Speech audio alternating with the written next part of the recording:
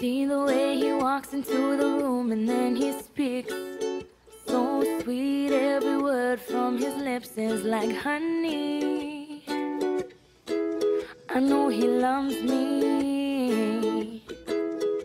I just love the environment here and just the way everything's set up. The people are really nice and I'd recommend for other people to come here because. Uh, well, it's Hawaii. Uh, it's a great atmosphere.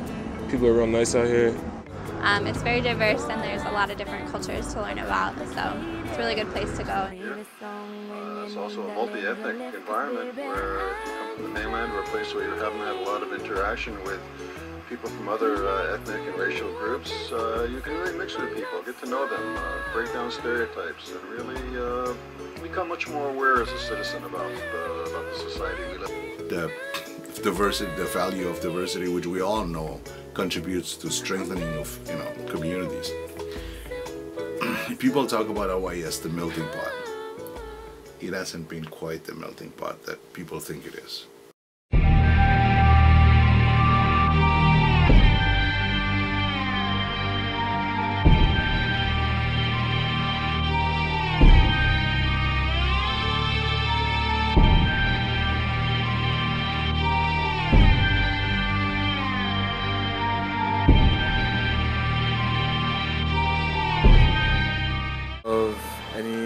Stereotypes about Micronesian people?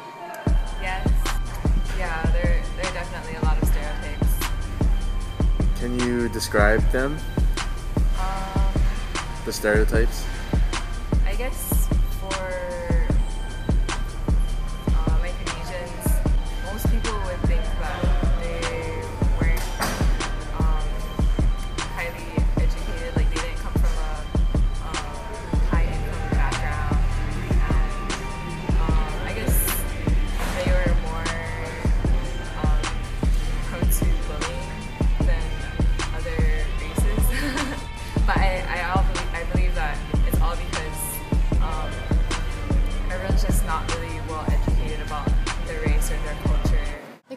wear strange clothes.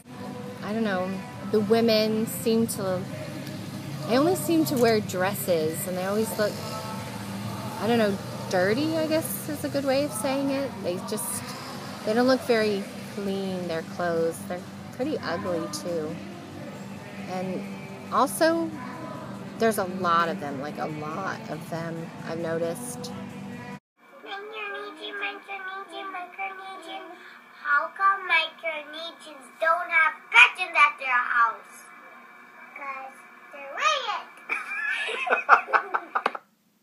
Aware of any stereotypes about Micronesians? If so, can you describe some of them and respond to them?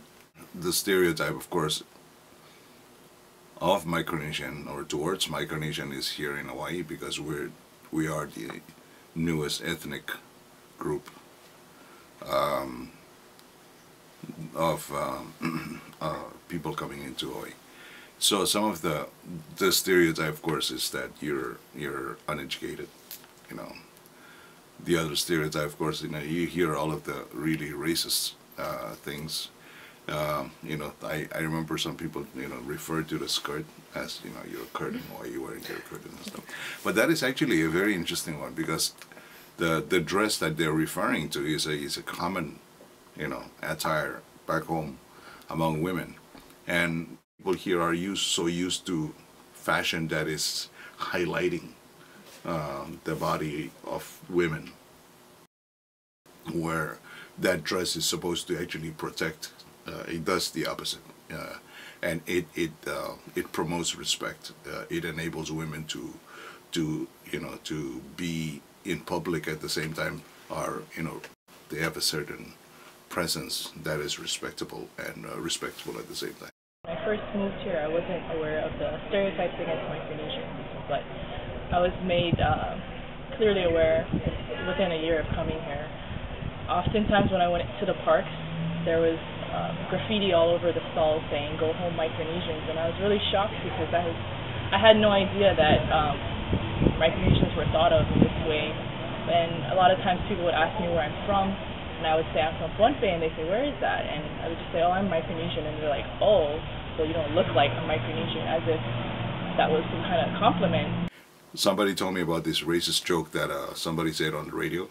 He said, like, what is it? This, what is the similarity between, what is the similarity between cockroaches and Micronesian?